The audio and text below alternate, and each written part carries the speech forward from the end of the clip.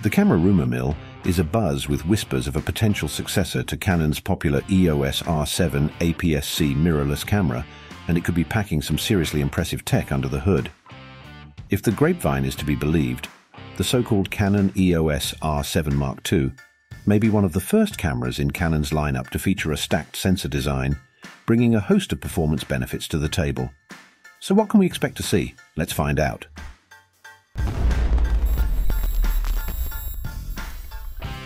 While all eyes were fixated on the eagerly anticipated announcements of the professional-grade EOS R1 and the high-resolution EOS R5 Mark II at the recent CP Plus 2024 trade show, murmurs of an R7 Mark II release later this year caught the attention of sports, wildlife and action photographers everywhere.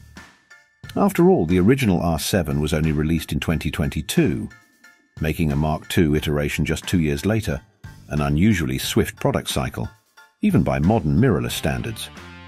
However, those familiar with Canon's recent strategy will know that the company hasn't been shy about rapidly iterating on its mirrorless lineup when it has something genuinely compelling to offer.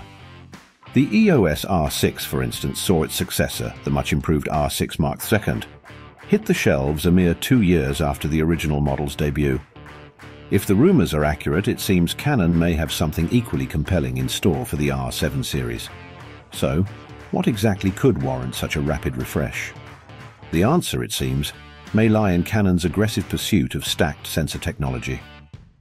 Over the past few years, the company has doubled down on this cutting-edge sensor design, with reports suggesting that up to three stacked sensor cameras, likely including the R1 and R5 Mark II, are currently in the pipeline. For the uninitiated, stacked sensors represent a significant evolution in imaging technology Traditional sensors employ a flat planar design, with the image sensor and supporting circuitry occupying the same layer. Stacked sensors, on the other hand, employ a multi-layered architecture, with the image sensor itself occupying one layer and the supporting circuitry and processing components occupying separate stacked layers. This innovative design offers several key advantages. By separating the image sensor from the supporting circuitry, stacked sensors can achieve significantly faster data readout speeds, enabling higher burst shooting rates, reduced rolling shutter distortion, and virtually no viewfinder blackout during continuous shooting. Additionally, the increased surface area available for circuitry and processing components can pave the way for advanced features like in-sensor phase detection autofocus and more sophisticated subject tracking capabilities. For a camera like the EOS R7, which is squarely aimed at the demanding needs of sports, wildlife and action photographers. The potential benefits of a stacked sensor design are clear.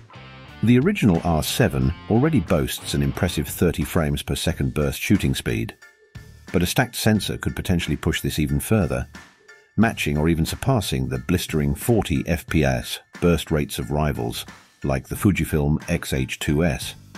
Beyond sheer speed, a stacked sensor could also help the R7 Mark II address some of the limitations of its predecessor.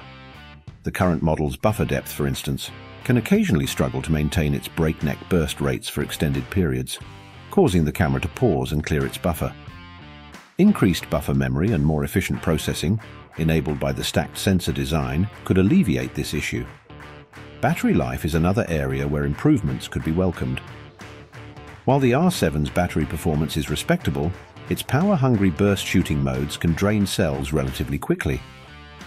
More efficient power management, facilitated by the stacked sensor's optimized circuitry, could help eke out more shots per charge. Of course, sensor technology is just one piece of the puzzle, and Canon is likely exploring additional refinements for the rumored R7 Mark II. Ergonomic tweaks, such as an improved grip design or an optional battery grip, could further enhance the camera's handling and stability for extended shooting sessions in the field. Ultimately, while the details remain shrouded in speculation, the prospect of a stacked sensor-equipped Canon EOS R7 Mark II is a tantalizing one for Canon's legion of APS-C sports, wildlife and action photographers. If the rumors prove accurate, it could signal Canon's continued commitment to pushing the boundaries of performance and innovation in this demanding market segment. Only time will tell if the whispers ring true, but one thing is certain. The camera world will be watching Canon's next move with bated breath. What do you think? Do let us know in the comments section below.